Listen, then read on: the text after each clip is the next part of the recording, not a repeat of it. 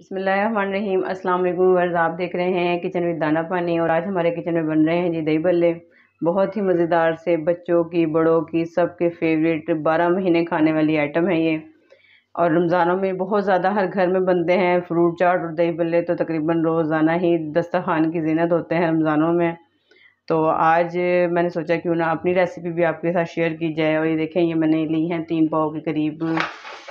ये दही बल्लों की जो पकौड़ियाँ भी कहते हैं, बूंदियाँ भी कहते हैं, इन्हें मैंने भिगो के रख दिया था एक घंटा और अब मैंने इनको निचोड़ के और ये मैंने जाली में निकाल लिया है। तो पानी नहीं है, इसी बॉल में मैं डालती हूँ ये सारी बूंदियाँ। और यहाँ पर मैंने देखे ये लिए हैं, एक पाव के करीब लिए हैं आलू और जिन्हें मैंने छोटा छोटा ये क्यूब्स की शक्ल में कट कर लिया है उबाल कर। तो ये सारे आलू मैं इसमें डालूँगी। और यहाँ पे ये चने हैं, इन्हें भी मैंने रात भर भिगो दिया था और सुबह मैंने इनको पानी डाल के उबाल लिया। थोड़ा सा नमक डाल के तो ये सारे हमने इसमें मिक्स कर देने हैं। थोड़े से मैं इसमें डालूँगी टमाटर।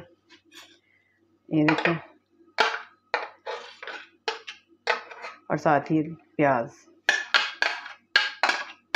तो कुछ लोग इसमें बरीक कट करके बंद गोभी भी डालते हैं, खीरा भी बरीक कट करके डालते हैं। तो ये आपकी मर्ज़ी है, अगर आपने और चीज़ इसमें कोई डालनी हो। तो ये देखें, यहाँ पे ये है हरी चटनी, इसे मैं दही में मिक्स कर दूँगी। इसमें मैंने हरा धनिया, हरी मिर्चें और पुदीना पीसा है और पीस की चटनी भी बनाई है। इसे मैं दही में मिक्स कर देती हूँ सारी को। ज़रा हरी मिर्चें मैंने थोड़ी सी ज़्यादा ली है, इसके अंदर ज़रा तीखी सी बनानी है। और ये वही देखें जी, हमारा किचन विद दाना पानी का बना हुआ, जो इसकी रेसिपी मैंने दी है। दही बड़ों का मसाला है। ये मैं एक टेबल स्पून इसमें मिक्स कर रही हूँ और बाकी हम सर्व करते हुए यानी कि दस्तरखान पे रख देते हैं, जिसको जितना ज़रूरत हो वो अपने आगे डाल के खा ले। बच्चे भी खाते हैं तो ज़्यादा मिर्चे तेज़ बच्चे पसंद नहीं करते। तो ये देखिए, यहाँ पे मैंने लिया है एक टेबल स्पून भर के ज़ीरा। इसे मैंने रोस्ट किया है और इसे थोड़ा सा डार्क कलर का रोस्ट करना है। आम रूटीन में जब हम ज़ीरे को यानी कि भूनते हैं तो लाइट ब्राउन करते हैं। जब भी आप किसी, यानी कि रायते में या दही बल्लो वगैरह में डालें तो उसको डार्क ब्राउन करें। उसका फ्लेवर बहुत अच्छा स्ट्रॉन्ग फ्लेवर आता है। और ये देखें, ये डार्क कलर का। और ऐसे आप इसके ऊपर ऐसे क्रश करके डालें। और मैं दही फेंट के डालती हूँ इसके अंदर, फिर मैं आपको दिखाती हूँ। ये देखिए ना, यहाँ मैंने दही फेंट ली है। और ये हम सारी अब इसके अंदर ही डाल देंगे। ये एक किलो के करीब दही है।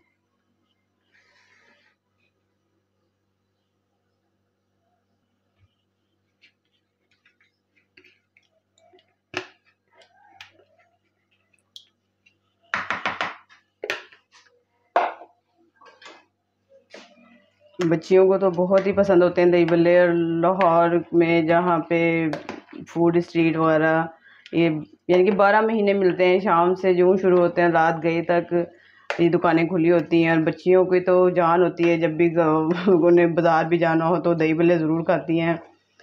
तो आप इस तरीके से भी बना के देखिएगा, आपको बहुत पसंद आएँगे इन सबसे जो इसमें मेन इंग्रेडिएंट्स है, बस ये ज़ीरा ही है। बाकी चीज़ें तो सभी डालते हैं, लेकिन ज़ीरा को इस तरीके से भून के जब आप डालेंगे ना तो आपको पता चलेगा कि इसका कितना अच्छा फ्लेवर आता है। ये देखें, ये थोड़ा डार्क कलर का तो ये दही बल्ले बन के हो गए हैं तैयार। मुझे इसका थोड़ा सा ज़्यादा डालती हूँ मैं, इसके अंदर मुझे इसका फ्लेवर बहुत पसंद है। ये देखें। ये देखें जी, मज़ेदार से दही बल्ले बन के हो गए हैं तैयार और ये कितने यमी लग रहे हैं। मैंने इसके ऊपर थोड़ा सा धनिया पुदीना भी छिड़का है, बारीक कट करके। अगर आप चाहें तो बारीक बारीक इसमें हरी मिर्ची भी कट करके डाल सकते हैं, वो भी बहुत मज़े की लगती हैं। लेकिन छोटे बच्चे घर में खाते हैं, इसकी वजह से मैंने इसमें हरी मिर्चें नहीं डाली हैं। तो ये देखें, मुझे ऐसे ही दही बल्ले पसंद हैं गाढ़े गाढ़े से, इस तरीके से। ये देखें।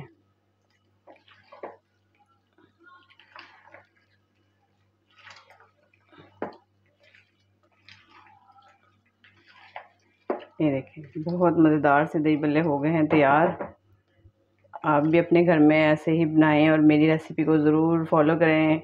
एक मरतबा मेरी रेसिपी से भी बना के देखें, बिल्कुल सिंपल है, वही चाट वैसे ही दही बल्ले का मसाला डलता है, वैसे ही सारी चीज़ें कट करके डाली हैं। सिर्फ़ इसमें जो इजाफी चीज़ डली है, वो है भुना हुआ ज़ीरा। अगर आप डालते हैं तो अच्छी बात है, और अगर नहीं डालते तो एक दफ़ा डाल के ज़रूर ट्राई कीजिएगा।